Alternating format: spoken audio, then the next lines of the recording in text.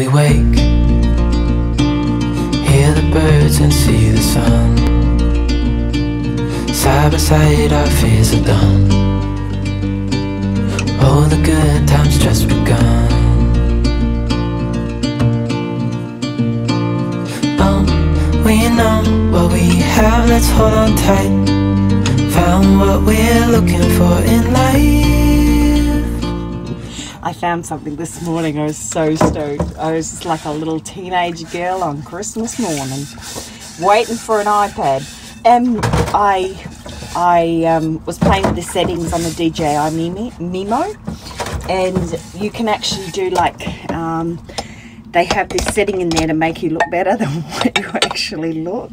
So I tapped that thing out to the max. Um, they have this like uh, thinner, like I have like a scale bar, right?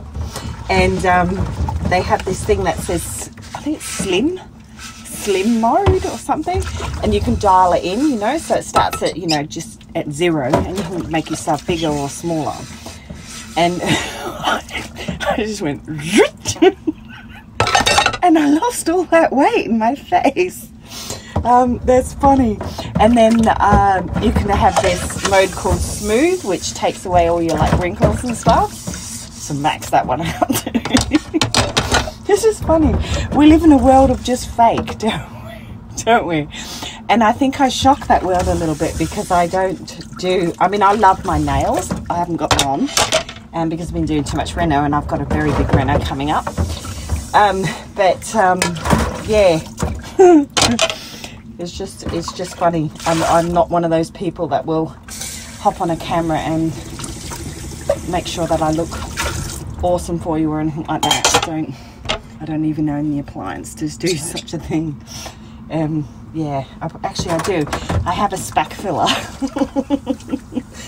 that'll that'll work. Hiya, I just thought I'd show you something.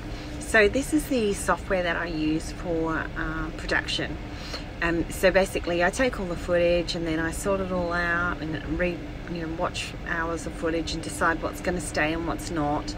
And then once that process happens, which is actually quite an extensive one, then it actually goes into the production suite and then I start making a YouTube a video out of it. Um, so just this part of it takes about seven or eight hours to produce you know, 20 minutes of video. Um, it all depends. We have a little dilemma today though because some footage is missing and I do recall um, that there was an SD card in Emmie's water bowl. Um, now I'm not saying she'd put it there. It could have been the mouse that was in the house. Um, I doubt it because you know butter wouldn't melt in her mouth. I asked her and she just looked at me like, hello. So anyway, so I'm just sort of adding some footage. So after the breakfast, I went to Bunbury to have a look at some street art. I had seen some uh, loaded up on Facebook and I thought, hang on, you know, I've been to Bunbury a million times and I have never seen street art there. Maybe it's because I'm just not observant. I'm guessing that's probably what it is because it's that's probably the way it is so I decided that I would download the map. Um, I have actually linked it in the description below, so if you need it, um, I would highly recommend that you do it. And one afternoon I took the map down there and I walked for maybe three or four hours and took nearly 400 photos and videos. Um, obviously I'm not going to share all those with you, plus it's not no point, otherwise why would you go and do it? I think you should go and do it, it's just awesome. Yeah so I have given just gonna put the top top 10 or so that I really really loved so that's next Wish that I could stay in this moment forever so I can hold you in my arms.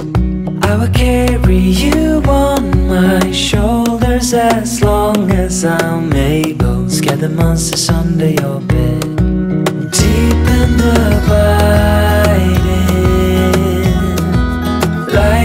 For you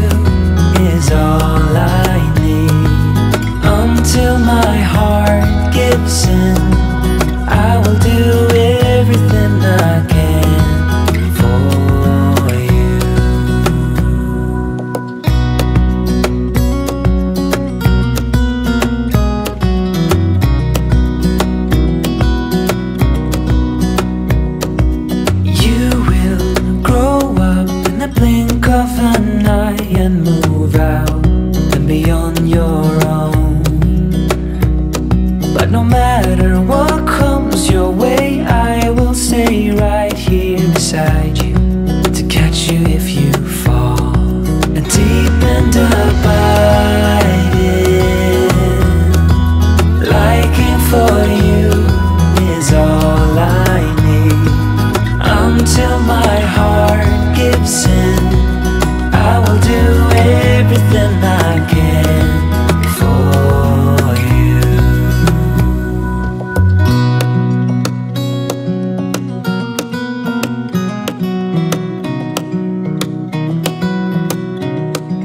morning. Right. Jobs to do today and a bit of touring to go. I have to first do the dishes. Um, so I'll do that while I'm chatting to you. Um, today I am off to some caves, which is always cool. And to see a lighthouse. I've never been inside a lighthouse. Um, yeah, so you will be sharing in that lovely journey with me. Um, and that's about it really. Um, so I've just to have some breakfast. I'm hungry.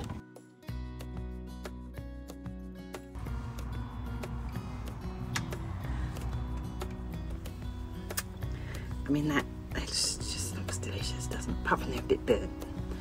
But that's actually your fault because I was getting the camera ready for you. So you can see my look at these strawberries. A friend of mine and her boyfriend went and picked them and um, I got to eat them. I don't know if her mother know if she knows that her mother gave them to me, but Jess, thanks mate.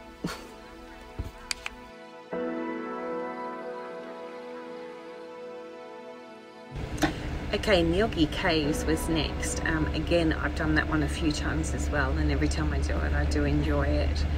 Um, it was just stifling hot that day, and when we went into the caves, I know it's sort of like a, a temperature that remains the same, um, but there was something different in the air, and I just didn't feel like I could breathe properly. Um, so I kind of just rushed quite through it. I took as much footage as I could, but there was a lot of it that was quite shaky. So, um, yeah, anyway, but this gives you a little teaser and a little taste, and it's, it's definitely worth doing also. Um, you can actually do them same as I did and did the lighthouse and then Ngilgi straight after. Um, easy in a day, not a problem at all, and they're quite close to each other. So, yeah, definitely worth a shot. All right.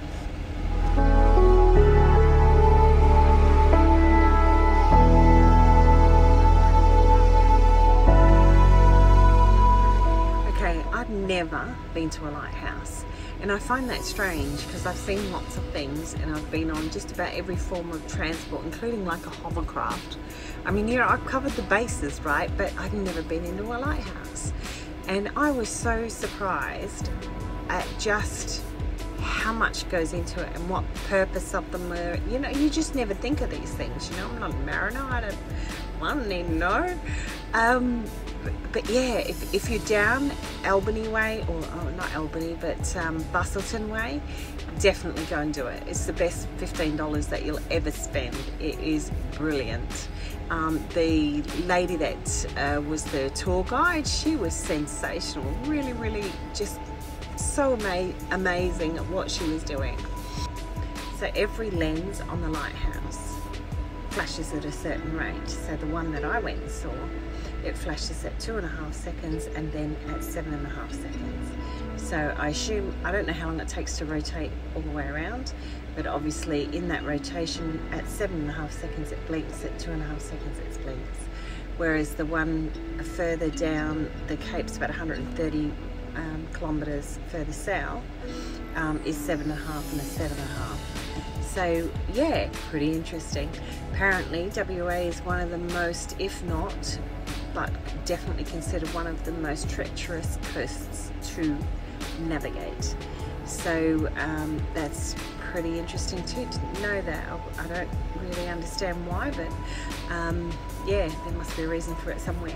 Um, so yeah, that was really really interesting. Um, and then we went inside the lighthouse and how they showed us how you they keep it, how they maintain it. Um, you know, like.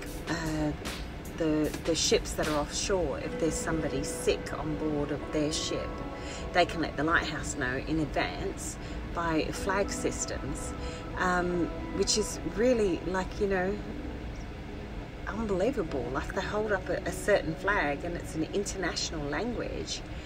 Um, that means you know like there's somebody sick on board that need medical help or, or whatever whatever they're trying to convey is conveyed through flags which is just incredible.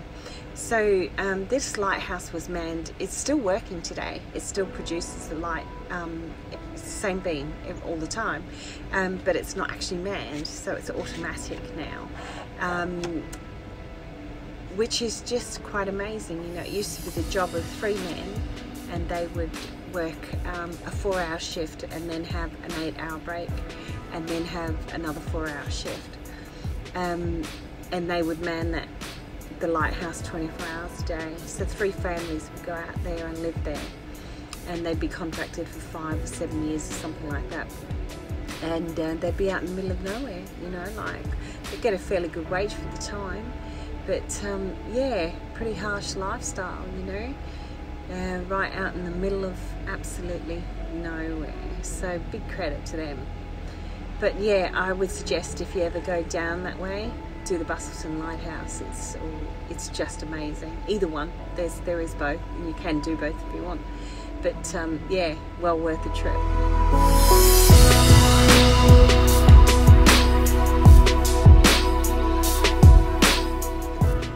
Okay, a couple days later, I went to Albany to have a look at the whales.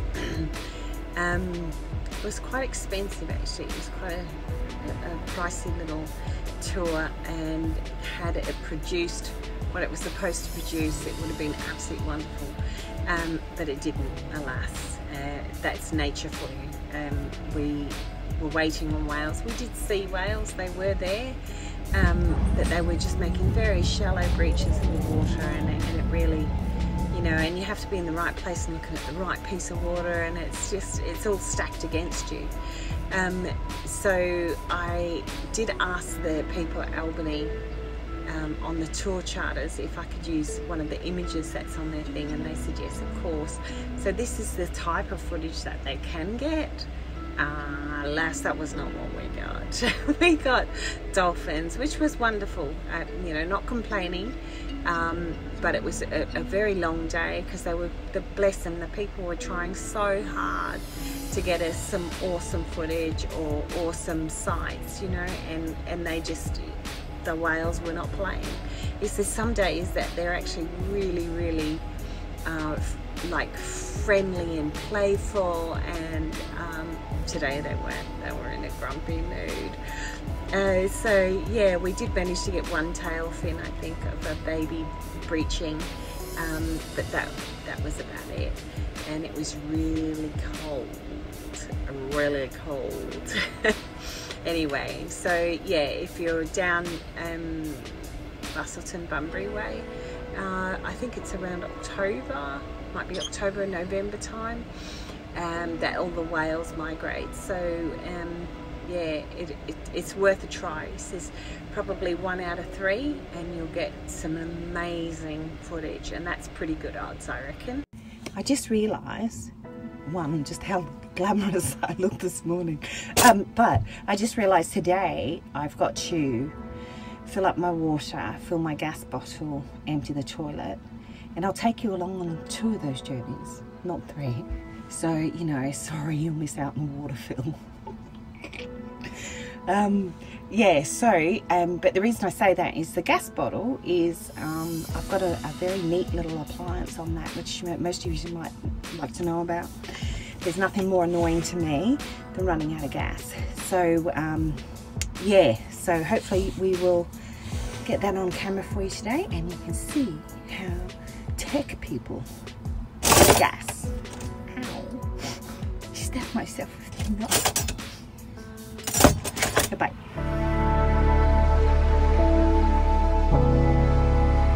Um, I know I don't know of anybody else that has them over here.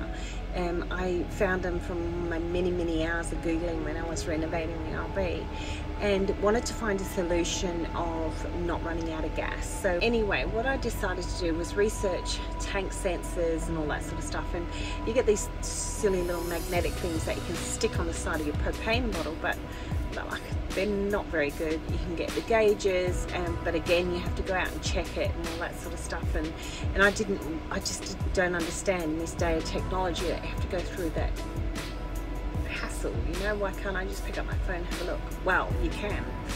So there is a product um, product called Mopeka um, M-O-P-E-K-A. I've put an affiliate link down below so if you want to purchase them that's actually the cheapest price that you'll get them and um, I would recommend getting the set of two. I got the set of two um, and it also comes with tank spaces and everything but I'll explain what that is in a minute.